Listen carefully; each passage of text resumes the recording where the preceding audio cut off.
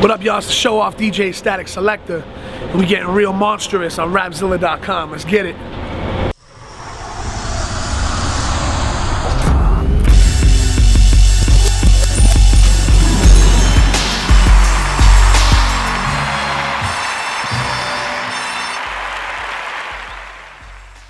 What up, y'all? It's the show off DJ Statik Selektah.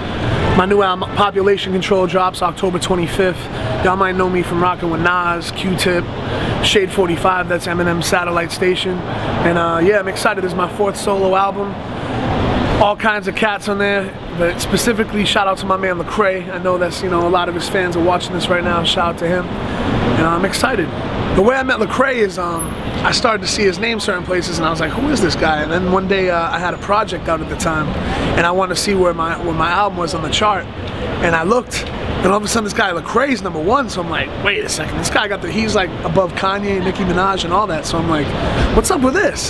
So uh, I went on YouTube and typed in his name and some of his videos came up and they had like, you know, million plus views. I was like, wow, I'm like this dude can really rap. Like I, I, obviously figured out real quick that he was a Christian rapper. And I'm not gonna lie, I've only been up on a couple Christian rap acts, but so I gave him, you know, I gave him a listen and all of a sudden I'm like, damn, this dude can really rap. Like, you know what I wanna do? I wanna bring him up to Shade 45. So I was like, I went to uh, Google, I typed in Lecrae and Twitter, his Twitter came up, I hit him up like, yo, you want to come up to the station? And he hit me back like, yeah, man. So he came through. He came through to New York, came through the studio, and I was like, yo, while we're at it, man, I'm trying to showcase a lot of the new talent, you know, in hip hop.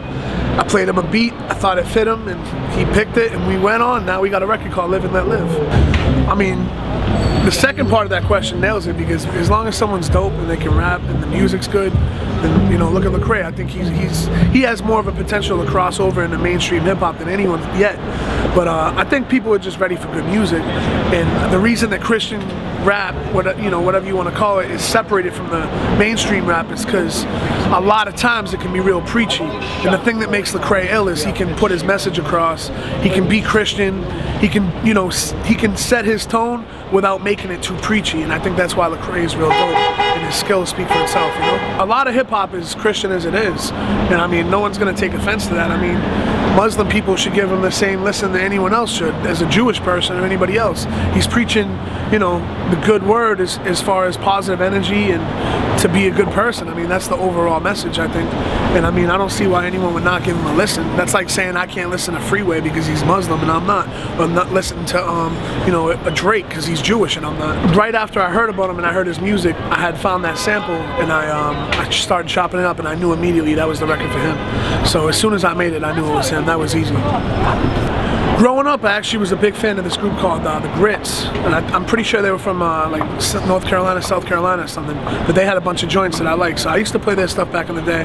But um, as far as you know, things being labeled Christian rap, this is my uh, second encounter, really.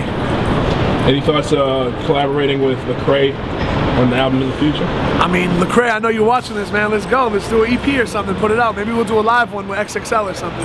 So I'm excited to work more with Lecrae. We're definitely going to do it. Being your producer, who are the top five greatest producers of all time? Top five in no order would have to be DJ Premier, Dr. Dre, Pete Rock, J Dilla, and probably Q-Tip. And, and there's a lot of other people that ain't in that list that I want to put like Alchemist and the Neptunes and you know outside hip hop Quincy Jones. There's so many people I can name, but those are like my top five.